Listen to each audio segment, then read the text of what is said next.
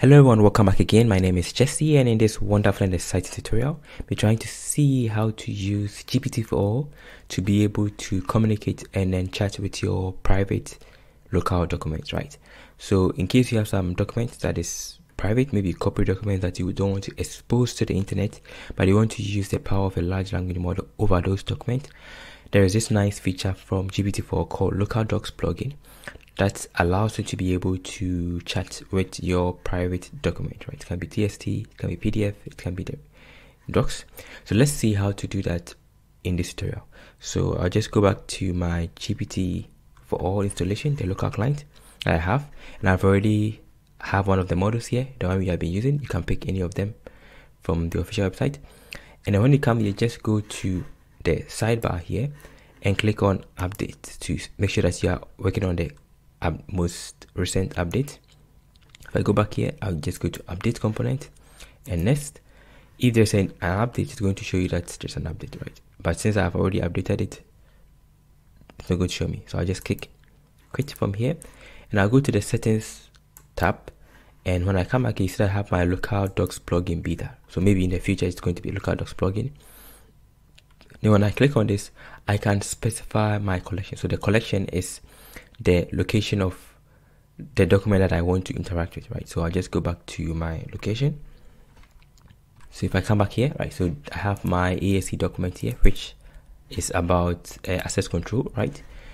So I want to communicate with this document. So how do you do that? So I'll just copy this one here and I'll go to my collections LLM. There's already one here, but I want to show you this example.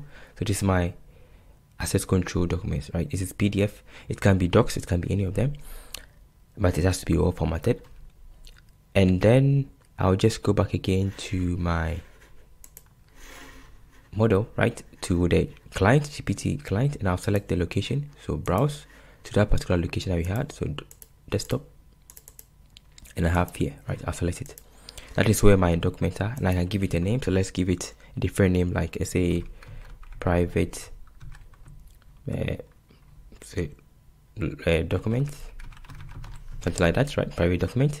And I'll click on add. So now it's going to create a, a, collection that I can communicate with right? Perfect. You can also specify the document size and then the prompt right? These things will determine how fast or slow your prompt generation is going to be. Perfect. Then I'll come back here and I can now interact with it right? So how do I interact with it? So I just click on this database icon here and I'll specify the document that I want to communicate with, right? The collection. So I'll click on this private. You can select double if you have a lot, but I want to just work with the private document here. And now I can just go back and say hello. All right, so this is the normal one. So said it's processing. This is the large language model. How can I help you? Then I can just say, what is the difference between Mac and then DA system. Let's see if it will be able to give us an example. So now instead of just processing private documents, right? So that is where it is fetching the information from. Hopefully it's able to give us something good. It's more powerful if you have a very powerful model, right? Or large language model. So that now it's saying that MAX MAC stands for mandatory access control, which means that only authorized users can access certain resources, right? So this is a very useful system. So with local docs plugin, you can be able to communicate with your private document, with your corporate document. And I just given us the answer.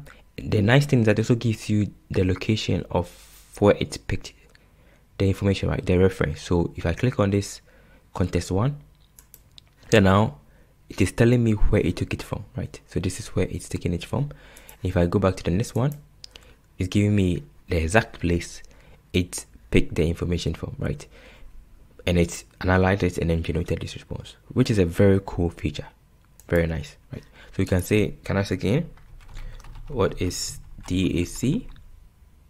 So let's see. So this is processing. Anytime you see processing without the collection, that means it's picking from the large language model itself, not from the context, right? Not from the private docs. Those ones will not have these reference.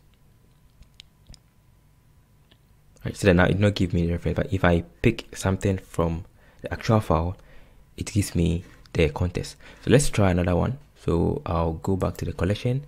I'll pick the private books here, which is about the nativity of Jesus.